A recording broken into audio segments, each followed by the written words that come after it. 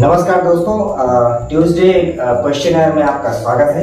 आज हम कमेंट्स के माध्यम से पूछे गए सवालों का जवाब देते हैं। तो चलिए बिना टाइम वेस्ट के सबसे पहले सवाल को ले लेते हैं और देखते हैं कहाँ के मित्र हैं जिन्होंने मेरा पहला सवाल पूछा है। एक्चुअली ये ये सवाल जो आते हैं वो जो वीडियोस पे आप कमेंट करते हैं, उन्हीं कमेंट्स में जो सवाल आप रैंडमली सिलेक्ट किए आते हैं अगर उसमें आपका नाम आता है तो वीडियो में आपका नाम ज़रूर बोला जाएगा। तो यदि आप भी कोई सवाल पूछना चाहते हैं तो मेरे चैनल पर वीडियोस के नीचे आप कमेंट में सवाल पूछे मंडे को हम सर तो आशा करता हूँ कि नवरात्रि काफ़ी अच्छी गई होगी और आप सभी माँ दुर्गा की कृपा से बहुत ही खुश होंगे। तो लेते हैं पहला सवाल। पहला सवाल है, सर, आप राम जी कुर्मी हैं, इसका वेद से प्रमाण लाओ प्लीज़ अमन सिंह। तो यहाँ पे मैं बताना चाहूँगा कि राम जी कुर्मी हैं कि कृष्ण यदुवंशी हैं, इसका प्रमाण वेदों में नहीं मिलता है, क्योंकि वेदों में जो आप वेद को समझ रहे हैं, वेद चार ऐसे बुक्स हैं जो पूरी तरह से साइंस को एक्सप्लेन करती है, इस प्रकृति को समझाने के लिए ऋग्वेद में, अग्नि के बारे में बताया गया है। अथर्ववेद में आपका पूरा आयुर्वेद, उसके अलावा आपके जितने भी केमिकल्स हैं, उनका क्या यूज़ होगा?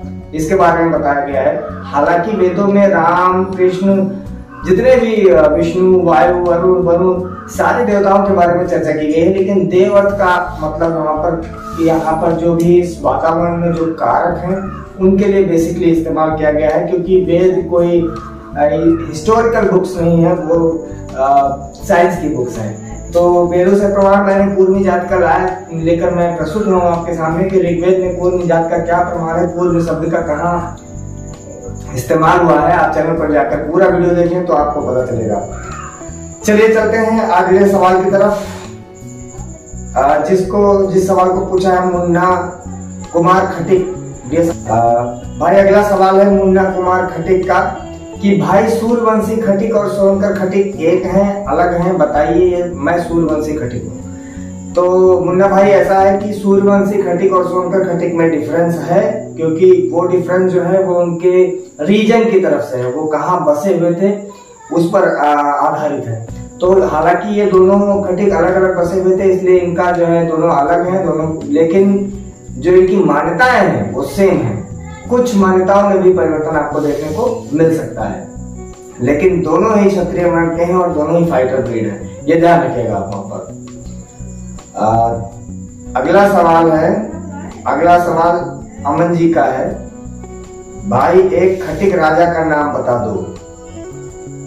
अब ये एक बड़ा सवाल है। तो अमन जी के सवाल को जवाब देने से पहले दो तीन चीज़ें मैं आपको बता दे रहा हूँ। क्षत्रिय होने का अर्थ ये नहीं किया वो व्यक्ति राजा रहा राजा का भाई, राजा के आगे पीछे चलने वाले जो उनके सैनिक होते थे, रक्षा सुरक्षा, वो सब क्षत्रिय ही थे। तो क्षत्रिय राजा का अगर आप जानना चाहते हैं तो मैं वीडियो लाना हूँ, लाने वाला हूँ। जो गगरीन फोर्ट है राजस्थान का, गगरीन का किला वो खड़ी क्षत्रियों के का ही है, क्योंकि वो खींची राजपूतों का किला है, और खींची, पासी, खटी, ये इन सब का जो उद्गम है, वो सेम है।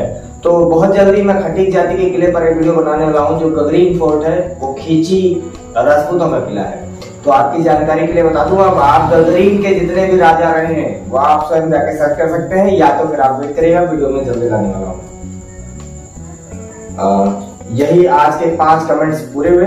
और आशा करता हूँ आपको चैनल पे काफ़ी आनंद आ रहा होगा। अभी हमने वर्णपूर्ण क्षत्रियों का मनु भगस्वत मनु से लेकर के आगे का इतिहास प्रारंभ किया है। आप जुड़े रहे चैनल को स्टे ट्यून्ड ताकि आपको जल्दी जल्दी अच्छी अच्छी जानकारियाँ, ऐसे ही अपने इतिहास, अपने भारत की संस्कृति के बारे में मिलते रहे। और हम सर्व धर्म संभाव की बात करते हैं, और हम सभी सनातनी एक हैं, यही चैनल का एक मेन मोटो है।